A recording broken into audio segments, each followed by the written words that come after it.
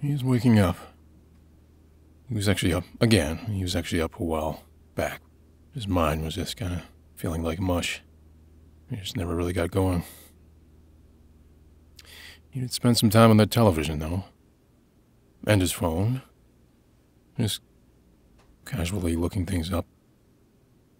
On the TV, he watched stuff from a few different channels and just like felt like he was going nowhere again.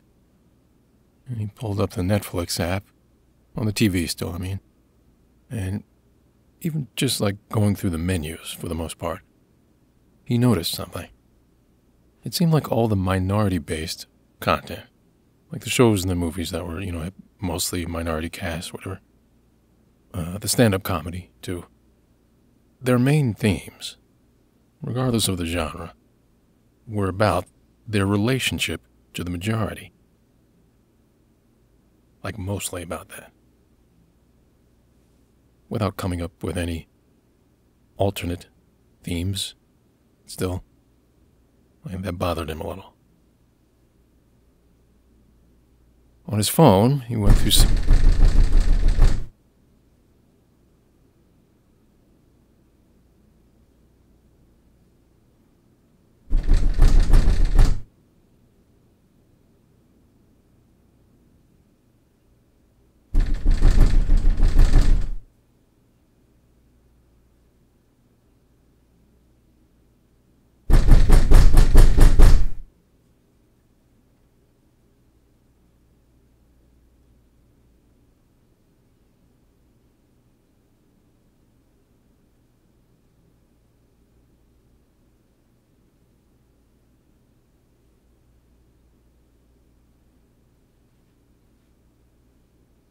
Anyway, um, I was saying on his phone, uh, he, um, he went through some, uh, some activist websites.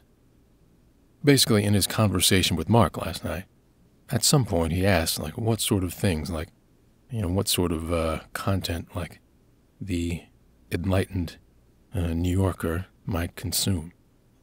And he actually proceeded to, like, write the stuff down. So this morning he listened to like public radio for a while. He watched, you know, the, the at least the trailers to a few documentaries and previewed some podcasts that are apparently popular. And he actually listened to all of one of them about the difficulty in changing people's minds. Presumably tangential or with a nod to their current political divisiveness here. Anyway, he seemed to be you know, very disappointed by all of it, generally.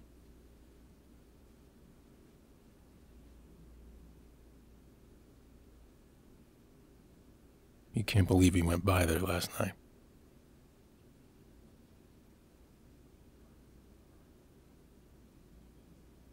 Oh, we forgot to check Craigslist again and eBay, just to see if the guy tried to list the laptop. He's gonna grab his phone. Hmm, he's just gonna sit on the window side there. Oh wait, he's got a message from Simi. Any luck? Question mark. Jeez. Gotta say something back. Eh, not to get our hopes up too much here. Okay. I know these long messages are your favorite part. It's exciting, I know. Okay a little, but it's complicated trying to uh, go back. We've got the location, location, but I don't know how to get to it before security has to wipe it. Still trying, though. Maybe a fingers crossed emoji or something. I forget it. It's send. Oh, this is breaking my heart, he's thinking. You never emailed that guy Kellen, the IT guy. All right, you know what that means. Another message. Here we go, brace yourself. Hey, Kellen. I went to the location of the laptop last night. Unfortunately, it's a high rise. But I was able to use the other antennas to find what I believe is the exact apartment. How much more time do I have before you have to wipe it? Question mark. Is it possible to get a little more? Question mark. Thanks. I appreciate your help. Okay, that should be good.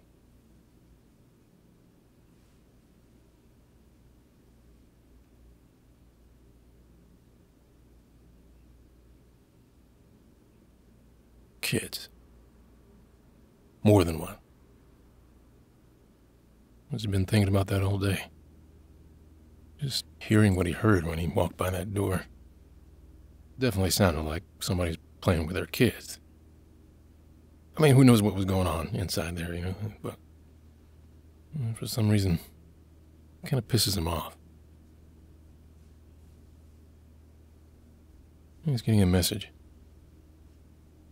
Assholes won't give me my money back because I admitted to sleeping in there. Oh boy. Fine. Sucks. Sorry.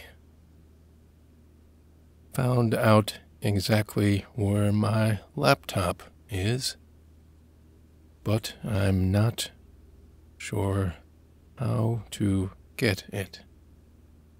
Send.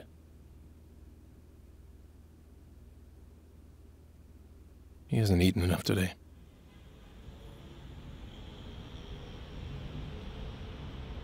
Hello? Hey, Aaron, what's going on? Well, basically, it's got a tracking system on it. So for at least a while, you're able to track where it goes on an app, more or less.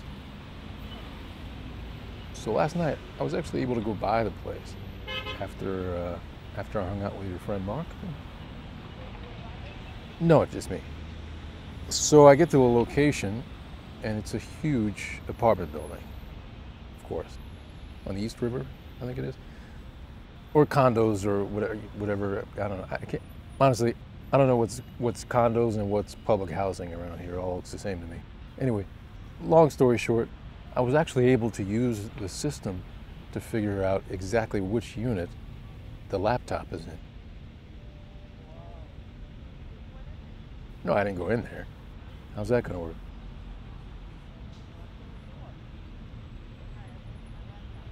Okay, well, you know, I guess that's the difference between you and me. Ben Mark and his friend and his wife and everybody but me, I guess, apparently. and that, and I, I wear sensible shoes, and you don't. Well, I assume, uh, yeah, I mean, eventually I, I guess I'll end up calling the police. But it gets complicated because, see, if I call the police and they actually get the guy, I mean, who, who's to say they won't just confiscate the laptop as evidence? In fact, I, I assume that's probably what happens. I mean, I mean, I don't know how that stuff works, but something tells me they're not just going to like hand the laptop back to me and just let me go on my way. Anyway, the problem with that is that the laptop is going to get wiped. Like the information on the laptop is going to get wiped remotely from back home pretty soon. Like all the information, I mean, will, be gone. Unless I can get my hands on it, basically.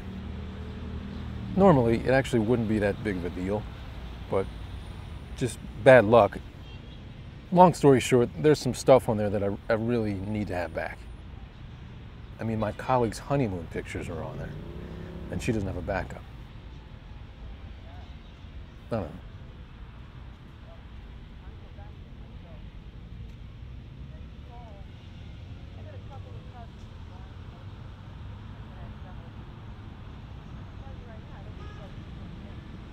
To go back over there?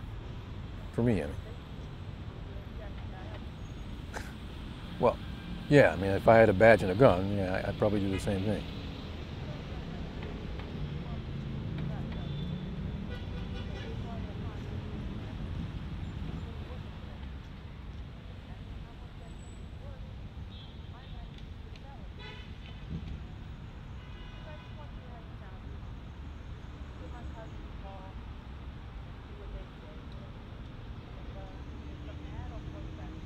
All right. Well, thanks. Okay. See you. He got an email while he was on the phone. He's going to check that.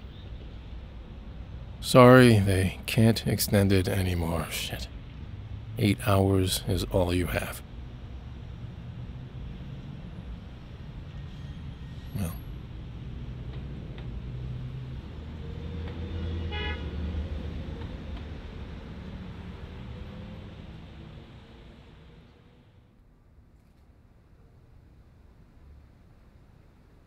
He's walking just to walk. Really to think. Two kids. It's really getting to him. You can see. This asshole's just having a grand old time playing with his kids. And he has none. Two to nothing, basically. I mean, obviously, it's not that simple. I mean, you know, uh, whatever. Thieves are all over the place. They come in all kinds of shapes and sizes. You know, thieves have families too. It's just something about when you see firsthand someone steal something worth some cash to them, but arguably priceless of yours. And just clock out and go back home for dinner like it's nothing. So wrong. He's getting a little like flustered. Stay with me for a second. See, like he he's remembering like getting a knot in his stomach like every time he reads about some settlement in an intellectual property case or like you know some kind of white collar crime or something. And there's no amount of money that can replace what was stolen. You didn't steal my car or my wallet or you know million dollars. You stole my future. Opportunity is what you stole. You stole my opportunity to have kids. He's thinking that part of it never comes up the way it should. She's not sure why that's acceptable.